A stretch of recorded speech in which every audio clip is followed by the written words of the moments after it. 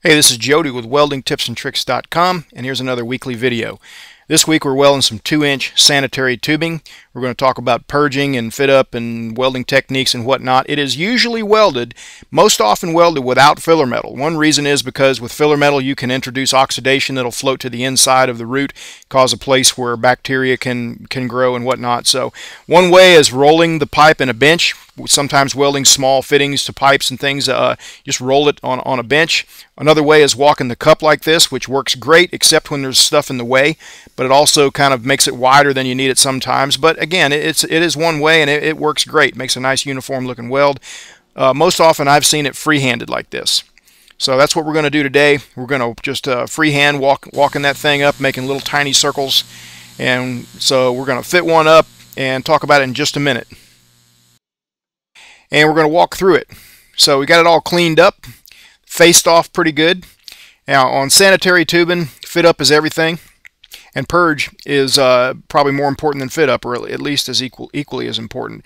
It's great if you can have some kind of little uh, adapter on the end, uh, some kind of little stainless plug or something that you can hook an argon hose up to, and you don't just have to always tape because when you just tape and poke a hole in it and then stick a argon hose in there, you can get leaks. So you're, you're less likely to have leaks if you got something a little more substantial like this, or a, you know, maybe a part of a big clear lens or a piece of uh, Lexan with a threaded uh, barbed fitting in it, or any number of things. Uh, save a little time, save a little tape, but tape works too. I'm using just blue painter's tape here. It works pretty good if you don't get it too hot, and it's going to be quite a ways from the heat, so that's what I'm using today. But I want to get it all, all taped up. Don't want any leaks because any leaks are going to draw air in there and it's going to screw up the purge. And I need a good 100% pure argon purge to make the root pass come out nice and silver. So I'm going to stick the argon hose on here. This is a kind of a, uh, like what comes on a TIG torch. You can use a lot of different kinds of clear hose. Uh, you can use uh, even vacuum hose, but some rubber hoses like vacuum hose can actually hold uh, oxygen in the pores of the hose, so it's, better to use something that uh, doesn't have huge pores on it. Now I'm taping the other end of this, and then I'm going to put a little slit in it here. And the reason I'm putting a slit instead of just poking holes is that while it's uh, not welded up, I want it to kind of stay like it is. And when, when pressure builds up in there, if you put a, a, crisscross in here, it will allow argon to escape as pressure builds up, and it'll keep argon in there better when, when you don't have uh, buildup of pressure when the joint's not welded yet, and, and argon can escape on the joint. So it's just a little trick. I'll also put another hole in there in a minute. I'm going to run it up to, you know, between 10 and 15 CFH here on the argon. I'm using a dual flow meter there. And also, for tacking right here, I'm I want to put a, a, a, little tiny hole at the very, very top. Argon's heavier than air, so you have to think of it like water. You have to think of it like what would happen if I was filling this container up with water. Could all the water displace all the air in whatever you're trying to purge? And if not, you got to take steps to keep it. You got to position the part or put a vent hole or something else. That's, that's why I put that little vent hole at the very top so all the argon could displace the air uh, from this thing and I get a good purge. Now the reason I got a good silver tackle on that thing, even though I'm using a scratch start thing here and I've got I have no way of stopping the arc, or or so you would think. Uh, the reason I'm getting a good a good purge there and I don't have to whip out is because I'm using this little uh, homemade uh, foot switch that I that I showed in a video a few weeks ago. There again, it's it's in a 6G position, so even though I've got that crisscross punch there cut, I put a little a little small pinhole at the very very top to allow the argon to push all the air out of that thing, just as if it was water. It, it's got to be up at the very, very top to get a to get a good purge. Now I'm going to use a TIG finger because this thing just begs for a TIG finger. It's nice, slick, stainless, polished, and that TIG finger is going to slide on it and let me make nice little smooth movements. And also I'm going to position my hand wherever I want and not my hand won't get hot. I'm using this big old huge old old CK air-cooled torch with a uh, with a torch valve on it. It's just a, just a dry rig, scratch start.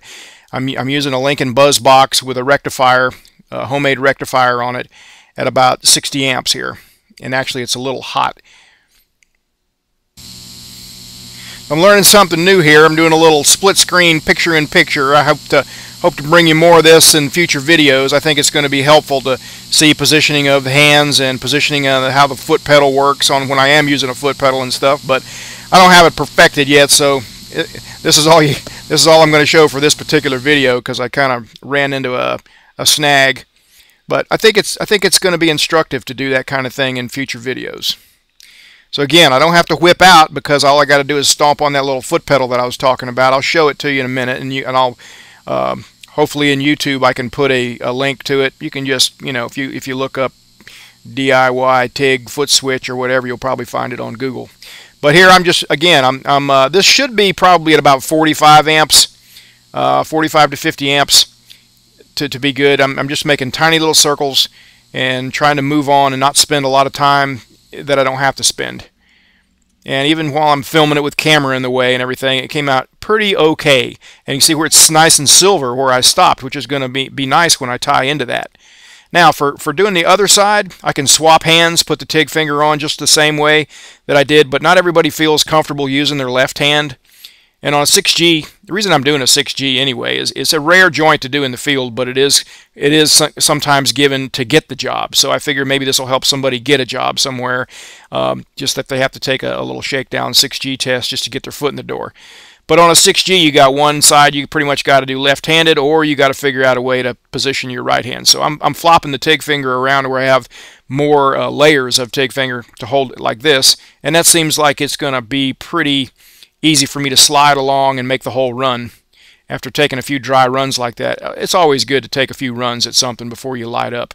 Things look different under the helmet. So let's see how that one goes. Now I know this looks like I'm I've got a, you know, piece of rebar in a five gallon bucket here. I've got it blown up big time. So uh, you just got to realize sometimes I magnify things just to help you see what's going on. But this is more like, you know, maybe what you would see underneath the helmet right here. Again, just very tiny circles. I'm trying to move as, as you know, it looks like I'm moving on pretty slow, and I am, but, but this is kind of how things go sometimes when you're in a little bit of a jam, a little bit out of position. You can't always you can't always travel as fast as you would like to, but you, you want to try to not hang around too long on stainless steel. You'll you'll cook it, it'll turn out all gray, and and uh, you know it's bad. Now I'm going to tie in here. I tie it in. Now I'm going to snap, kind of trail out, and then hit that foot pedal, and it should look like that. And you see, I, I maintain gas shielding, and that is that is really the benefit of having that little foot switch is maintaining gas shielding and not having to come back and file and and uh, grind and brush and polish and everything to get that oxidation off there where you whip out.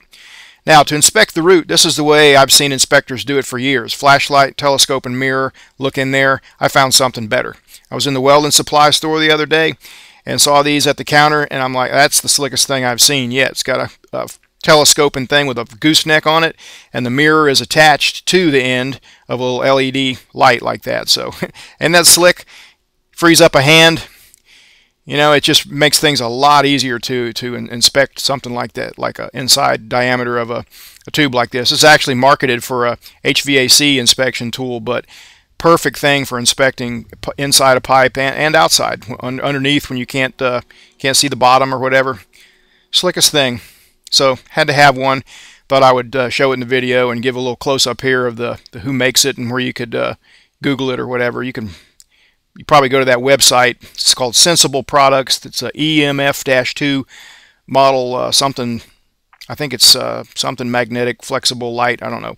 This is the unit I welded it with. That buzz box with the uh, with the uh, rectifier with all those diodes in it, and then this little homemade little foot switch where I can. I'll show you in a minute here. I'm welding here. Here I'm welding, and then watch the arc when I break break the arc. See, so that's that's how I maintain the gas shielding on there. Um, came out pretty decent for, for a guy who's rusty and is a hack sometimes. All right, now it's, it's time for me to try to sell you a TIG finger. I'm going to show you lots of other little uh, cases where a TIG finger really comes in handy. 6G, on a 2-inch 6G Schedule 80 pipe, that thing will get cooking your fingers unless you hold it way back on the torch. And the farther back on the torch you hold it, the less steady you are. So might help you pass a test. If you're if you're in school doing 6G tests, get a TIG finger. Small by, small diameter uh, tubes like this. This is kind of like a socket weld. It's actually a specialty wrench that I was fabricating for a, a customer uh, several months ago. Really helps. Aluminum gets hot really quick and sometimes it's hard to find a place to prop. So you can see it slides up an aluminum joint I'm sped this up here to just so you can see it slide up there. Chromoly tubing, not always a good place to prop. It gets pretty hot welding those cluster joints. Comes in really handy for that. A round joint like this, like a socket, a heavy-duty socket weld, a heavy wall socket weld that are, uh, require multiple passes, gets really hot, gives you more places to prop.